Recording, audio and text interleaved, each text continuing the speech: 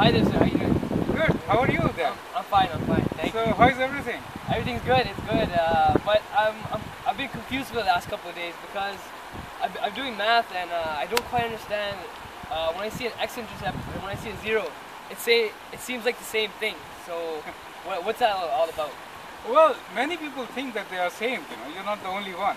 Yeah. It took me a lot of time to really understand how to explain the difference between zeros and x-intercepts. Yeah. Well, you can see it like this. When we talk about x-intercept, we are basically talking about a graph and we are seeing where the graph meets the x-axis. So that is the x-intercept. well, when we are talking about zeros, then we are saying at what point does we have a zero value for f of x. So there is a whole difference in concept and so what we what I feel is that one this could be a difference. Well, at the end we land at the same point because on the x-axis you have the x-intercept and at the x-axis the value of the function is also zero. Correct? Well that's one way of looking at it. But you know what? All zeros are not x-intercepts. That's kind of funny. Why? Why is that? Yeah. We only deal with you know real numbers. Zeros could be real or imaginary. Uh, so the imaginary zeros don't really come on the x-intercepts. Okay. So what you see on x-intercepts are really real zeros. So they're not imaginary zeros. And uh, imaginary zeros, do you know what they are? I'm not. I'm not sure what those are. I, I understand that real x-intercepts, uh, real zeros are on the line, but imaginary zeros, uh, God knows what Oh my those are. God. You remember the quadratic formula which we used to find uh, the solution of equations? yeah, yeah. And then we have a, re- there b square minus 4ac within the square root. Yeah, yeah. This is called discriminant. And discriminant could be 0, could be greater than 0 or less than 0. Mm, If it is less than 0, you get a negative number within a radical. yeah, And in real numbers, you don't have any solution for that. yeah, that's all right.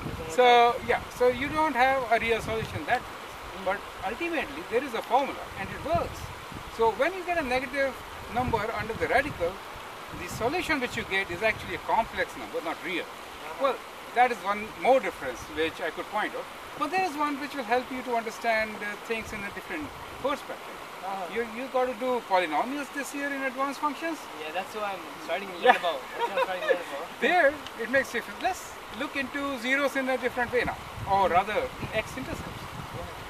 If I draw a line, you will see that x axis it will just cross like an arrow, right? Yeah, Just dashes through like a straight line. Yeah, So let's say equation is simple, y equals to x, and then we have a line going through the origin, just crossing like an arrow, right? yeah. How about the zero for y equals to x squared, the quadratic function? Does it crosses the line? No, no, it just it just touches the line. It doesn't really go go through Go it. through, right? Yeah, That's also an x-intercept and also a zero, right? yeah. But this is kind of a different.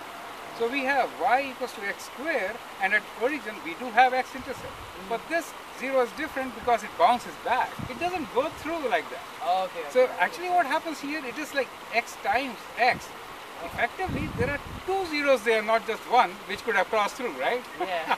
so these two, they don't know what to do.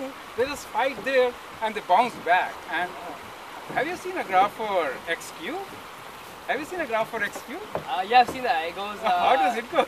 Is it? It doesn't go through or bounce back, but actually goes. Uh, makes a curving line like this. Curving line is right. You can think like x cube is three x's, right? Yeah. Or you can say one x and two x squares. So the x tells it to go through and x squared tells to bounce back. So kind of confused. So it just gets there and thinks and then moves forward, like, Yeah. like a good curve like this. Yeah. So this is like a third kind of zero which you see, you know. Mm. All Yeah. three are zeros, right? Yeah. And all three are x-intercepts. Mm. They have a difference. The way they go or their behavior near the x-intercept is very different, right? Yeah. That is because of the multiplicity of the zeros. So at the same point or the x-intercept which you're talking about, we have different kinds of zeros. The line zero was a linear zero, just single. Mm-hmm. We say multiplicity 1 or order 1. But for the quadratic function, Yeah. you have x square and this order is 2, x to the power of 2. Yeah. Multiplicity is 2 and that kind of zero gives like bouncing back, it doesn't cross the line at all. Yeah, it's very simple, no, we don't have to cross the line. Mhm. It just bounces back. and the x cube is in between. It thinks and goes. so there are three zeros at the same point. So what we find is zeros also tell us behavior of the graph or the curve at the x-intercept. So uh, that's that's a, that's how they are very different. You know? Okay. X-intercept is just a point yeah, uh, which touches the graph and the x-axis. yeah. But zero. zero has that hidden uh, It can be many things. behavior, It can be a lot of things, behavior uh, into it. So that, that's it. That's what it is. Yeah. Yeah. Yeah. Thanks, I hope you understand now. Yeah, I get it now. It clears my understanding. That's good.